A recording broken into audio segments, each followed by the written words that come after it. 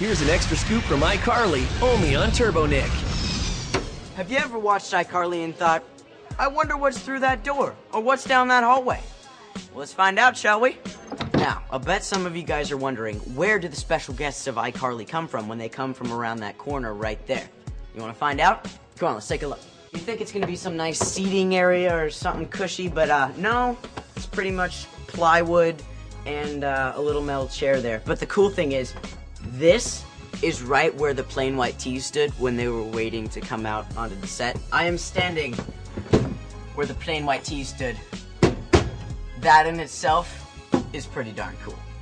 Have you ever wanted to go in Freddie's apartment? Come on. Here it is, Freddie's apartment. Ta-da! It's not that great. it's just another door that doesn't lead to anything. but a tree. Now, of course, when you're in school, the stairs always mean that that's leading up to other classrooms. So, let's take a look and see what's on up there, shall we? Okay. So pretend that, you know, I'm just a student meandering on up to homeroom. And, uh, you know, I'm trying to get to my class. But, wait a second.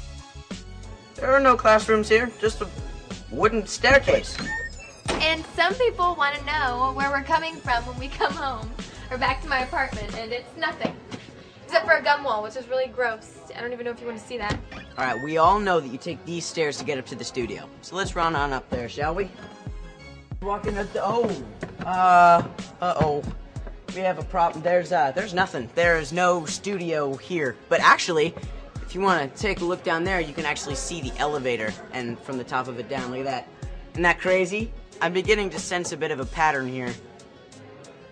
Now let's check out what's behind this fake door.